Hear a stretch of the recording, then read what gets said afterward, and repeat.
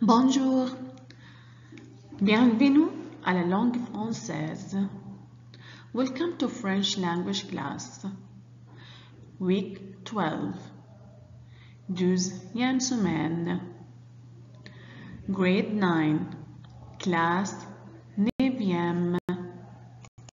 Leçon 1. Lesson 1. La forme interrogative. In this lesson, we're going to revise the questions using the negative form. La négation in French.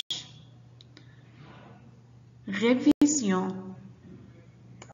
Leçon 2. Lesson 2. La forme interrogative au passé composé. The negative with past tense verbs.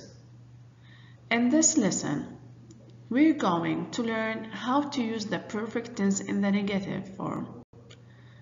In French language, la négation. Lesson 3. Lesson 3. La forme interrogative. In this lesson, we will be learning to ask and ask and answer questions about what happened in the past perfect tense. Le passé composé a la forme négative et interrogative.